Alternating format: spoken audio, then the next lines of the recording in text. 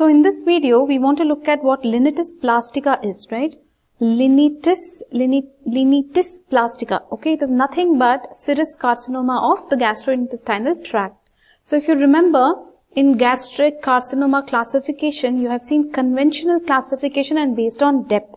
So in conventional classification, you have the early and the advanced. Again, in that you have macroscopic and microscopic pattern. So in the macroscopic subtypes, you have the ulcerative carcinoma, fungating polypoid carcinoma, scirrhous carcinoma or linitis plastica, colloidal carcinoma and ulcer cancer.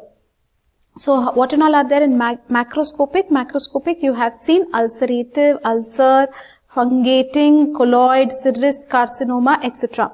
In microscopic pattern, you have tubular papillary signet ring cell carcinoma, mucinous adenocarcinoma and adenocarcinoma, no specific type.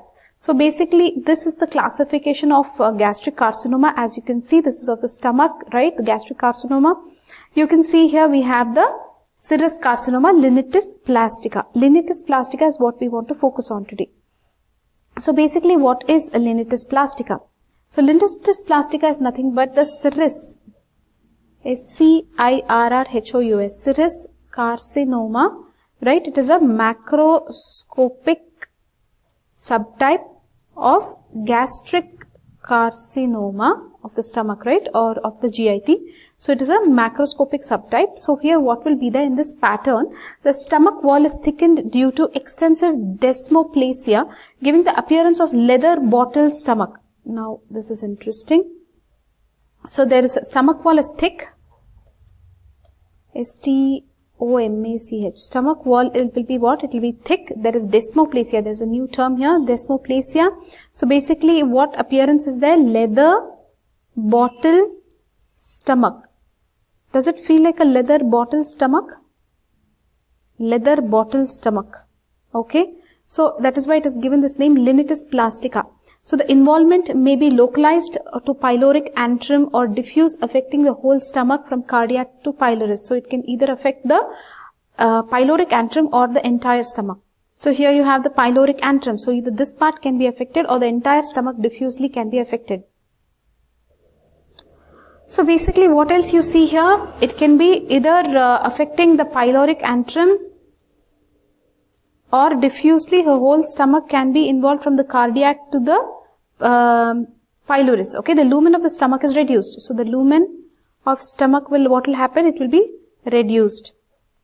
There are no ulcers but rugae are prominent. Rugae are prominent. So you can see here the rugae are very, very, very prominent in this.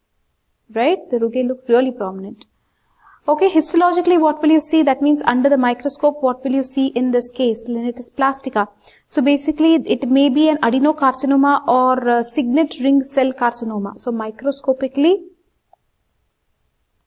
here you can either have those, you saw so many patterns, right? In that they are saying it can be an adenocarcinoma pattern or a signet ring cell carcinoma. So either of these patterns you can see. Just remember the patterns again. Go back here.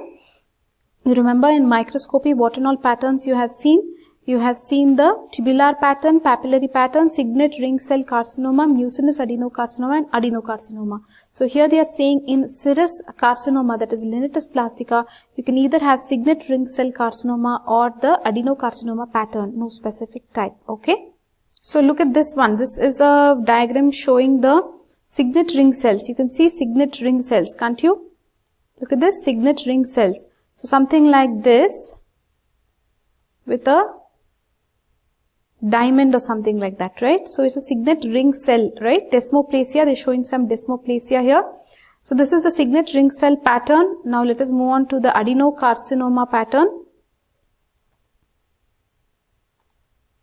So in gastric adenocarcinoma, what do you see? You see this dysplastic epithelium, nuclear atypia, invasion into muscularis propria, normal glands, malignant glands, malignant glands, what you will see, nuclear atypia you are seeing, dysplastic epithelium. So the epithelium you can see it is slowly, this is normal epithelium, it's slowly becoming so dysplastic. Can you see it? This looks like normal and here you can see a lot of dysplastic epithelium, right? Dysplastic epithelium malignant gland. This is a normal gland. Then you can see a malignant gland. You can see some blood vessels. You can see some mm, muscle layer here, then you can see the muscularis invasion into the muscularis propria. So beyond this muscular layer, lot of glands have come, right? So the invasion into muscularis propria, this is, and you can see nuclear atypia. This is adenocarcinoma stomach, guys. Another photo here.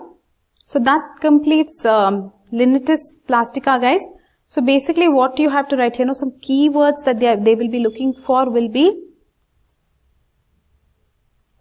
the rugae are prominent, the stomach wall is thick, leather bottle stomach, pyloric antrum can be affected or even diffuse the whole uh, stomach, stomach of lumen will be reduced, desmoplasia, plasia, growth of uh, fibrous tissue is called as desmoplasia, rugae are prominent, the lumen is reduced,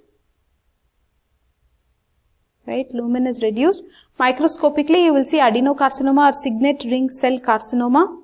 And here, due to this kind of uh, desmoplasia, cancer cells are difficult to find. Remember to mention desmoplasia. What exactly is desmoplasia if you are wondering?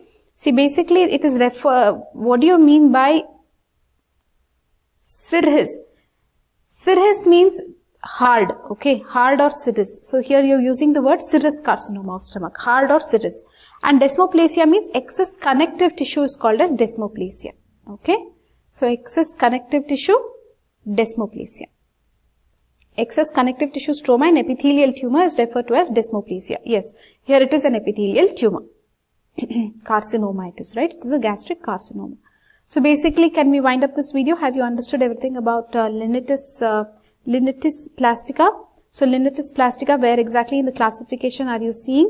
You're seeing it in the macroscopic subtype, scirrhous uh, carcinoma, Linitis plastica.